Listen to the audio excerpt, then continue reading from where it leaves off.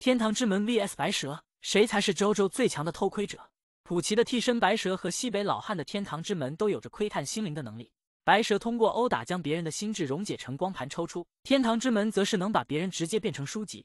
两者都能阅读目标的全部记忆。对白蛇和天堂之门来说，你的记忆是完全透明。比如普奇就是通过阅读成太郎的记忆光盘，才了解到关于天堂的真相，最终实现了迪奥梦寐以求的进化。陆半也从康一和山本绫美身上查阅了他们的所有小秘密。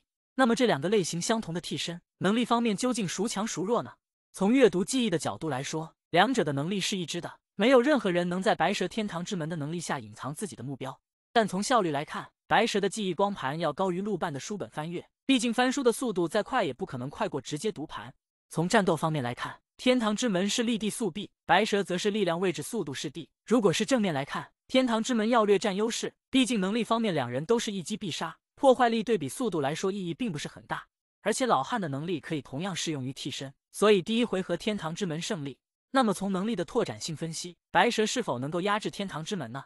白蛇的心智溶解是非常魔幻的设定，除了可以抽取记忆外，还能够抽取替身光盘。石之海前期很多替身使者的能力都是通过白蛇的光盘赋予的。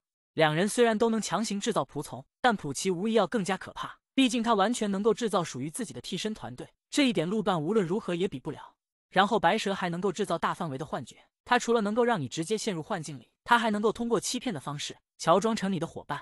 两者都可以通过书写命令的方式更改身体属性，比如普奇就用光盘抽取了自己的视力，然后破解了狂风暴雨。但从级别上完全无法和天堂之门相比。天堂之门不仅可以让仗助以七十公里的速度倒飞出去，它还能让康一瞬间学会意大利语。可以说，天堂之门在一定范围是可以违背现实规则的。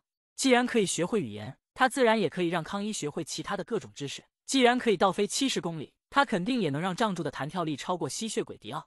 综合对比的话。如果只考虑战斗的话，白蛇的全面性要更强。但从应用角度来说，天堂之门才是最理想的替身。